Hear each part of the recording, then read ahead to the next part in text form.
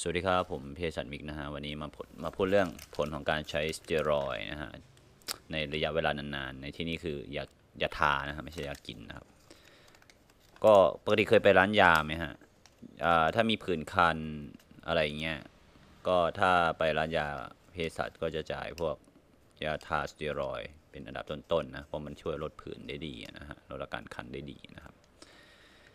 ยาทาทุกชนิดหากมีสเตียรอยเป็นส่วนประกอบเนี่ย จะจัดเป็นยาอันตรายนะฮะมันคือประเภทของยานะฮะไม่ใช่ว่ามันจะอันตรายอะไร แต่มันประเภทที่ว่าต้องจ่ายโดยเภสัชกรนะฮะตามร้านยานะครับ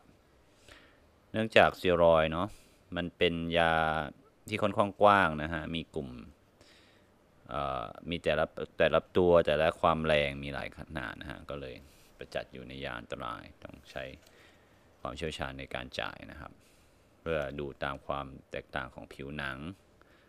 ของแต่ละท่านนะฮะ เพศและวัยอะไรเงี้ยนะครับและบริเวณที่จะทาด้วยนะครับ โดยยาทาก็คือภาษาอังกฤษเขาเรียก topical steroid เนี่ยสเตียรอยแบบทานะฮะท็อปก็คือชั้นบนนะเนาะ คือผิวหนังชั้นบนอะไรเงี้ย นิยมใช้กับอาการทางผิวหนังที่เกิดจากการแพ้ อันได้แก่ allergic dermatitis ก็คือผิวหนังแพ้อักเสบทั่วไป หรือ psoriasis หรือสะเก็ดเงินนะฮะ insect bite ก็คือแมลงสัตว์กัดต่อยนะฮะอย่างไรก็ตามการใช้ในบริเวณผิวบาง เช่นผิวหน้าเนี่ยหรืออวัยวะเพศหรือผิวเด็กนะฮะหรือใช้ผิวปกติก็ได้ แต่ถ้าทานนานๆก็ส่งผลกระทบต่อร่างกาย เช่นกันอย่างที่บอกนะฮะยามันก็คือเหมือนดาบสองคมเนาะใช้เป็นนานๆมันก็เหมือน มันก็มีผลข้างเคียงนะเหมือนเหรียญมีสองด้านนะ ไม่ใช่ว่ามันจะมีคุณอย่างเดียวนะครับ ถ้ามากเกินไปก็อันตราย อย่างเคสวันนี้ก็มีมีเคสเด็กน้อยนะเป็นผื่นเยอะเหมือนกันนะเขาก็เอาตัวยายาน้ำแบบสเตียรอยเนาะมาให้ดูว่าใช้ไม่ได้ผลตัวนี้ฮะก็เลยเปลี่ยน ก็เลยแบบเปลี่ยนเอาตัวพวกผสมเซรามายพวกบำรุงผิวให้เด็กเพราะผิวเด็ก เพิ่มความแข็งแรงให้ผิวเด็กดูนะฮะ ก็ไม่รู้เขาจะกลับมาหรือเปล่าอะไรเงี้ยก็เนาะเดี๋ยวก็อาจจะลองดูนะฮะเพราะว่าเขาเขาบอกว่าทาสเตียรอยด์แล้วแสบเลยนะอืมอืมโอเค แต่ก็มีเคสตอนเย็นนะเคสหนึ่งเขาก็ใช้พวกอะไรนะคารามายเนาะเออ ก็เป็นทางเลือกที่โอเคนะ ถ้าแบบไม่คันมากเลยก็ใช้คารามายดูก็ได้นะนะ โดยผลข้างเคียงที่พบส่วนใหญ่จะเป็นผลข้างเคียงแบบกระทบแบบภายนอกเนาะ นะฮะก็คือบริเวณที่ทาเนาะ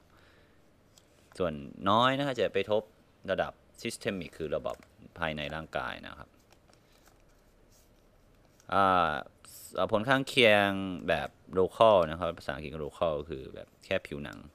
พบมากได้แก่ผิวหนังบางลง ผิวแตก รอยแดง และมองเห็นเส้นเลือดนะฮะ ยิ่งบางก็ยิ่งเห็นเส้นเลือดง่ายขึ้น อีกอย่างก็คือสิวชนิด อาจเกิดสิวได้นะ ใช้สเตียรอยเกิดสิวได้นะเขาเรียกว่า acneiform eruption เนื่องจากสเตียรอยจะไปกระตุ้นการสร้างโคมิโดนนะหัวสิวนะฮะทำให้เกิดการสะสมของไขมันบริเวณผิว และเพิ่มจำนวนแบคทีเรียในต่อม pilosebaceous ได้นะฮะเกิดจ้ำเลือดได้ด้วยนะครับ ส่วนที่พบได้น้อยนะฮะน้อยนะอืมเขาว่ารายงานการเกิดน้อยก็คือโรคมนุษย์หมาป่า ซึ่งผมไม่เคยเจอเลย hypertrichosis หรือเม็ดสีผิดปกตินะฮะแผลหายช้าและไวต่อการติดเชื้อที่ผิวหนังมากขึ้นนะฮะมัน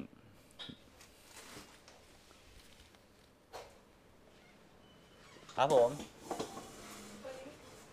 อ๋อได้ครับหลอดเล็กนะฮะ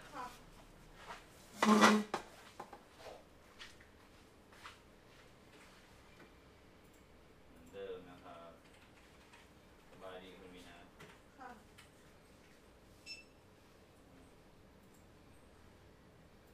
ตัวนี้ใช่ไหมตัวนี้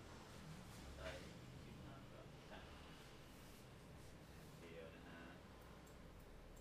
ยี่สิบสามบาท ถ้าเป็นหลอดใหญ่มันเท่าไหร่อะคะ พอร์ตใหญ่ขึ้นมา มันก็จะมี ใหญ่ประมาณนี้ห กสิบกรัม ก็ส่วนผมจะมีใหญ่ขึ้นมาอีกสเต็ป ถ้าเป็นตัว60กรัมเท่าไหร่ ก็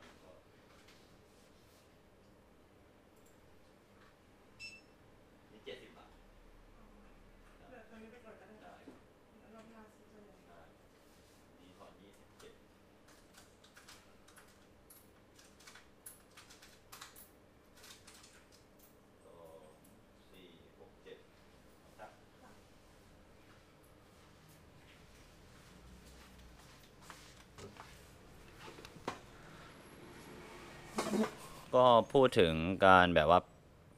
ผลข้างเคียงระดับแบบผิวหนังแล้วเนาะมาพูดถึงระดับ systemic บ้างก็คือเข้าสู่กระแสเลือดนั่นเอง จะพบใน